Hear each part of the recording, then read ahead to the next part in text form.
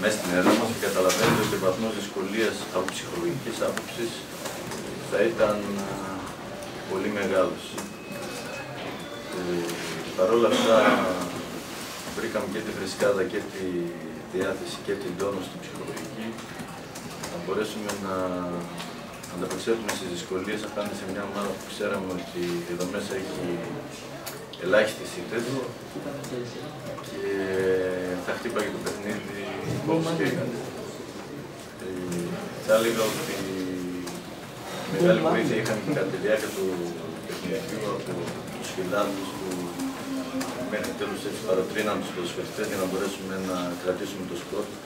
Παρόλο που κάποια παιδιά είχαν βγάλει κάποιους τραυματισμούς και καταλαβαίνετε ότι η, η δυσκολία μεγάλωνε γιατί και η κούραση και οι τραυματισμοί μας ε, αναγκάσαν να κάνουμε κάποια, κάποιες άλλες Πολύ δρόμο ακόμη.